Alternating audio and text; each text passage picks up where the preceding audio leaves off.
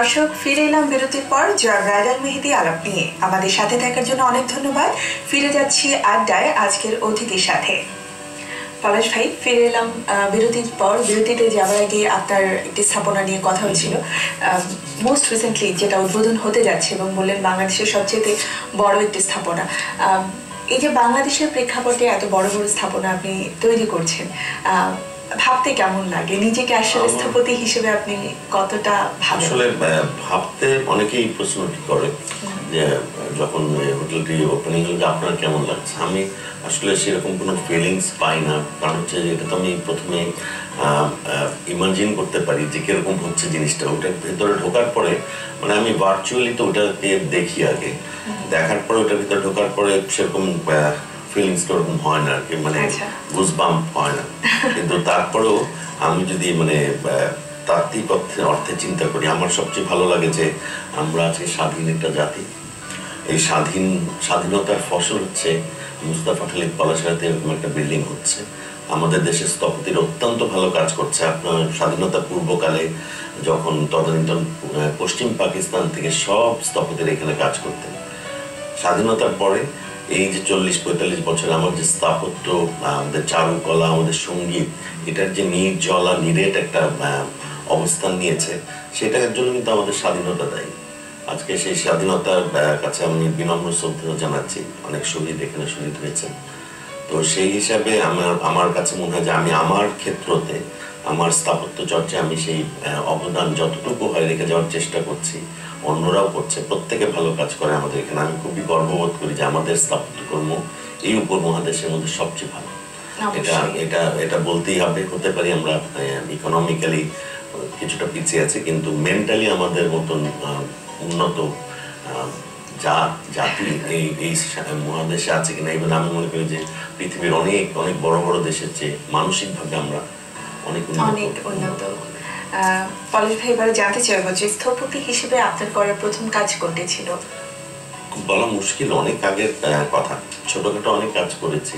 বড় কাজের মধ্যে প্রথম কাজ হচ্ছে আমি তখন অন্য একটা জায়গায় কাজ করতাম কনসালটেন্ট হিসেবে শিল্প ঋণ সংস্থার কারণ বাজার ভবন। তারপর নিজের অফিস থেকে প্রথম বড় কাজ হচ্ছে ইউনিট ট্রেড সেন্টার আচ্ছা।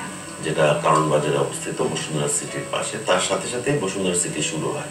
কারণ আমি মূলত আটানব্বই সাল পর্যন্ত যেহেতু শিক্ষকতায় ছিলাম খুব বেশি কাজ করতে পারতাম না। এই কাজগুলো আটানব্বই উত্তর সময়। আচ্ছা মানে শিক্ষকতা থেকে জাস্ট নিজেকে একটু আমি বলব যে পাশ কাটিয়ে তাই তো? হ্যাঁ, ওটা কাজের অভিমান অভিমান করে ছেড়েছি। আচ্ছা।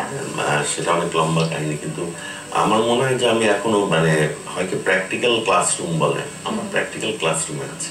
ওইভাবে। কাজ করে যাচ্ছি। আচ্ছা এবারে একটু আপনার চিত্রাঙ্কন সম্পর্কে জানতে চাইব। ছোটবেলা থেকেই হ্যাঁ যেহেতু বাবা মা দুজনেই চিত্রশিল্পী ছিলেন পরিবেশটাও ঠিক সেভাবেই পেয়েছেন। হ্যাঁ, আসলে তাই হয়েছে। এমন হয়েছে যে ওনারা দুজনই চিত্রশিল্পী। আমি ষাটের দশকের মাঝামাঝি দিকে আমার জন্ম উনিশশো তেষট্টি সালে। আর আপনার স্বাধীনতার যে চরম আন্দোলন উনসত্তরের গণ অভ্যুত্থান সত্তর ওই সময়টা মোটামুটি আমার কিন্তু আহ, মনন তৈরি হয়েছে। তো সেই সময় থেকে ছবি আঁকা বাবা মাকে দেখতাম একুশে ফেব্রুয়ারি ফেব্রুয়ারিতে আলপনা আঁকতে চলে যাচ্ছে নানা রকমের পোস্টার করছে। তো সেইখান থেকে অনুপ্রাণিত হওয়া এবং ক্রমান্বয়ে এমন হয়েছে যে পরে গিয়ে আমার বাবা মা তাদের শিল্পী সত্তাকে বিসর্জন দিয়েছে শুধুমাত্র আমার জন্য। দেওয়ার পর উনিশশো আটাত্তর সালে আমি যখন ক্লাস টেনে পড়ি আমার প্রথম একক চিত্র প্রদর্শনী হয় এবং সেটা উদ্বোধন করেন আমাদের শিল্পাচার্য জয়নাল কামরুল হাসান ওনার মানে আমার মতন একজন ষোলো পনেরো ষোলো বছরের ছেলের চিত্র প্রদর্শনী সেখানে প্রফেসর মনসিরুদ্দিন উপস্থিত ছিলেন। তো সব মিলে সেখান থেকে শুরু এরপরে অনেক দিন আহ, স্থাপত্য কর্ম তো আসলে চিত্রকলার সঙ্গে খুবই কাছাকাছি ওই সময়েও কাজ করতাম। কিন্তু প্রফেশনাল যখন আমি অষ্টাশি সালে পাশ করার পরে বেশ কিছুদিন একটা ব্রেক পরে তারপরে উনিশশো নয় সালে আমার এক্সিবিশন হয় সলো এখানে সেটা বই আছে। এগারোতে এক্সিবিশন হয় তেরোতে দুটো হয়। সব মিলে পাঁচটি আহ, আচ্ছা। এক্সিবিশন হয়েছে আর গ্রুপ এক্সিবিশন আমি পার্টিসিপেট করেছি আচ্ছা মানে প্রথম থেকে শুরু করে এখনও পর্যন্ত পাঁচটা এক্সিবিশন করেছেন এবং আমরা কিছু বইও এখানে দেখতে পাচ্ছি। দুই এক্সিবিশন হাজার নয় অফ আচ্ছা। হারমোনির এই বইটি। করে বইটি করা। এগুলো মূলত আমি তেল রং এবং অ্যাক্রিলিকে কাজ করি। তেল রং আমার সবচেয়ে প্রিয়। বেশিরভাগ কাজই তেল রং। আর এগারোতে আমি একটা কাজ করেছিলাম সেটা হচ্ছে আমি একটা জিনিস অ্যাডভোকেসি করতে চাই সেটা হচ্ছে ডুডলিং ডুডলিং হচ্ছে যে কথার ফাঁকে বসে বসে আপনি টেলিফোনে কথা বলছেন কাগজে আঁকছেন বা একটা মিটিং এ যাচ্ছেন কিছু একটা কাগজের কোনায় যে ডুডল করা হয় সেটাকে আমি প্রমোট করতে চাই কারণ হচ্ছে এটার একটা সাইকোলজিক্যাল ইম্প্যাক্ট আছে একজন হিউম্যানের মধ্যে মানুষের মধ্যে। তাতে হয় কি আপনার উত্তেজনা প্রশমিত হয়। আপনার স্মরণ শক্তি বৃদ্ধি পায়। আপাত দৃষ্টিতে মনে হয় যে লোকটি বোধহয় আমার মিটিং এ আমার কথা শুনছে না। কিন্তু আসলে দেখা যাচ্ছে যে যে লোকটি ডুডলিং করছে, তার মেমোরি দুটা চ্যানেলে ভাগ করে একটা একদম ওইখানে কাজ করছে, আরেকটা ওইখানে কাজ করে মানে কথা শুনছে। এইভাবে একটা কাজ হয় এবং এই কাজগুলো আমার অনেক জমে গেছে। এবং ঘটনার দৃষ্টিতে আমার যে সহধর্মী, তিনিও স্থপতি, আমার সহপাঠী ছিলেন। এখন সে ওগুলা কালেক্ট করে সবসময়। আচ্ছা। এই টুকরা একটা ছোট স্লিপের উপরে টিস্যু পেপারের উপরে বা ইনভেলপের উপরে এগুলো কালেক্ট করে উনিশশো এগারো দুই হাজার এগারো সালে একটা এক্সিবিশন করে সেটা হচ্ছে অফ টিয়ার্স অ্যান্ড জয় আনন্দ বেদনার কাব্য নাম দিয়ে এটা সেটার মধ্যে আছে। এখানে সবই কিন্তু আমার অন্য মনস্ক আমি কোনো ডেলিভারেট ভাবে কাজগুলো করিনি আর কি। আচ্ছা দেখাই যাচ্ছে। কোনোটা প্ল্যানের উপরে হয়তো ড্রয়িং করতে করতে ওগুলো নিয়ে একটা এক্সিবিশন করে। আর তেরোতে দুটো এক্সিবিশন হয়। একটা ছোট ডুডুলের পর আরেকটা হচ্ছে বড় এক্সিবিশন হয় নিউরোলজিক উইন্ডো এখানে বেশ কিছু কাজ আমরা কিন্তু দেখতে পাচ্ছি। আপনি এটা যেমন আমি এখানে এটা ইনভেলপের উপরে কাজ করছি কোনোটা টিস্যু পেপার এটা একটা প্ল্যানের মধ্যেই কাজ করতে করতে রং দিয়ে আচ্ছা। এটা এরকম ভাবে তৈরি হয়ে যাচ্ছে। পরে এগুলা টু- ওগুলা উনি কালেক্ট করে মানে আমার ওয়াইফ এগুলো কালেক্ট করে তার এক্সিবিশন করে যে এই ধরনের কাজগুলো আছে সব। আচ্ছা। তো এইটা আমার একটা নেশা আর কি। এটা আমি সবসময় করতে থাকি কথা বলার সময় মিটিংয়ে যখন শেষ হয় তখন একটা হয়তো প্যারালালি আমার মিটিং এর পাশাপাশি একটা শিল্পকর্ম চলে আসে। আচ্ছা এবার আবারও গানের প্রসঙ্গে ফিরতে চাই। আমরা জানি আপনার দুটি অ্যালবাম অলরেডি নতুন করে অ্যালবামের কাজ কি চলছে? আমার নতুন অ্যালবামের কাজ চলছে। সম্প্রতি রেকর্ডিং শেষ করলাম। আচ্ছা কবে নাগাদ আমরা পাচ্ছি? মধ্যে আসবে। আচ্ছা কি ধরনের গান রেখেছেন আপনার আমার আসলে হয় কি গানটাকে আমি গান হিসাবে দেখি না। গানের দুটো ধরন আমি মনে করি। একটা হচ্ছে আত্মার জন্য আর একটা শরীরের জন্য। তো আমার গানগুলো মূলত আত্মা মনস্তাত্ত্বিক গান। এই মনস্তাত্ত্বিক গান হচ্ছে আপনার মোর মেডিটেশনাল টাইপের গানগুলোই আমি করে থাকি বেশিরভাগ। অন্যগুলোও করি না তা নয়। বাট আমার কাছে গান গাইতে যেটা ভালো লাগে আমি সেটাই করি। কেউ শুনলো কি শুনলো না আমার কোনো আচ্ছা আসে হ্যাঁ, একেবারে নিজস্ব আনন্দ এবং এই গানগুলো মোটামুটি ধ্যান মগ্ন বা রবীন্দ্রনাথের প্রচুর এরকম গান আছে টপ পঙ্গের গানগুলো এগুলো করি। আচ্ছা পলাশ ভাই আমাদের সময় আসলে খুব কম। এবারে আপনার একটি ফাউন্ডেশন রয়েছে ডেল ভিস্তা ফাউন্ডেশন সেই ফাউন্ডেশনে আপনারা কি ধরনের কাজ করে থাকেন? আমরা একটু ছোট ছোট করে শুনব। মূলত ডেলভিস্তা ফাউন্ডেশন হচ্ছে আমার যে কর্পোরেট রেসপন্সিবিলিটি যেটা আছে আমার তো একটা প্রতিষ্ঠান আছে আমি ব্যবসা করি আমার কিছু দায়িত্ব আছে সমাজের প্রতি।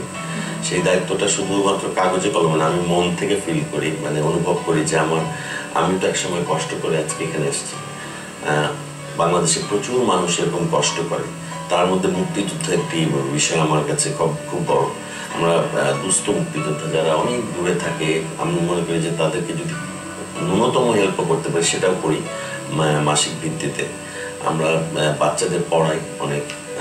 আন্ডার প্রিভিলেজ যারা আছে সুবিধা বঞ্চিত বাচ্চাদের পড়ায় অনেকে চিকিৎসা করাই আর শিল্প সংস্কৃতির ক্ষেত্রে শুদ্ধতা যদি বলি সেই শুদ্ধতা ধরে রাখার চেষ্টা করি। আমরা ক্লাসিক্যাল ইনস্ট্রুমেন্টাল মিউজিকের সিডি পাবলিশ করেছি ওটার অনুষ্ঠান করি। শুদ্ধ বাংলা সঙ্গীতের প্রচারের জন্য আমাদের মোটামুটি বিশটি সিডি আমাদের ফাউন্ডেশন থেকে বেরিয়েছে। বই পাবলিশ করি। যে বইগুলো সব মার্কেটে বিক্রি হয় না। হ্যাঁ, বিক্রি হবে না কিন্তু সেই বইগুলো দরকার। সেই বইগুলো আমরা প্রকাশ করি।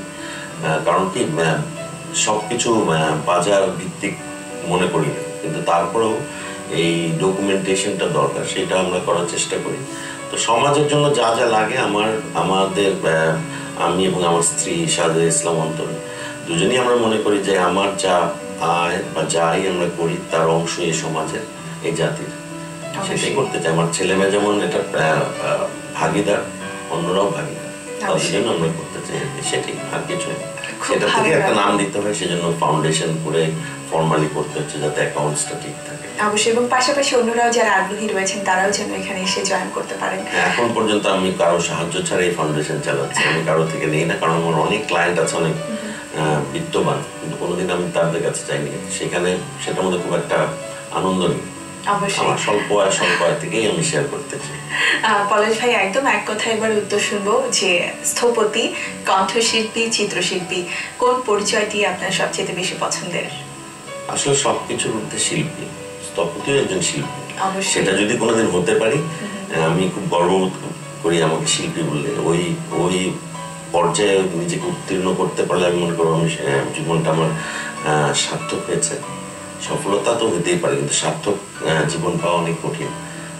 এই, এটুকুই চাই আর কিছু না। কিন্তু আমি শিল্পী মানে তার মধ্যে স্থাপত্য থাকতে পারে। একজন শিল্পীর মনন যতটা নরম মানে সে সংবেদনশীল হয়, সেই জিনিসটা যাতে আমার মধ্যে চিরজীবন যতদিন বেঁচে থাকে থাকে আর। অবশ্যই খুব ভালো লাগল। পলাশ ভাই আপনার সাথে আড্ডা দিয়ে যে একজন শিল্পী সত্তা নিয়ে আপনি আসলে শিল্প সত্তা নিয়ে বেঁচে থাকতে চান সবার কাছাকাছি পৌঁছতে চান। অনেক ধন্যবাদ আমাদের আড্ডায় এসে যোগ দেওয়ার জন্য। আপনাকেও ধন্যবাদ জানাচ্ছি। জয়া ব্রাইডাল মেহেদি আলাপ অনুষ্ঠানে আমাকে আমন্ত্রণ জানার জন্য। বৈশাখী টেলিভিশনকে আমার অসংখ্য ধন্যবাদ। আমাকে এরকম একটা অনুষ্ঠানে আমন্ত্রণ অনেক ধন্যবাদ। ধন্যবাদ। প্রিয় দর্শক, আড্ডা হচ্ছিল বিশিষ্ট স্থপতি, কণ্ঠশিল্পী, চিত্রশিল্পী মুস্তফা খালিদ পলাশের সাথে। নিশ্চয়ই আপনাদের আমাদের আজকের এই আড্ডা ভালো লেগেছে। আবারও ফিরে আসব আগামীকাল জয়া ব্রাইডাল মেহেদি আলাপে নতুন কোনো অতিথিকে সাথে নিয়ে। আপনারা সবাই ভালো থাকুন, সুস্থ থাকুন। আল্লাহ হাফেজ।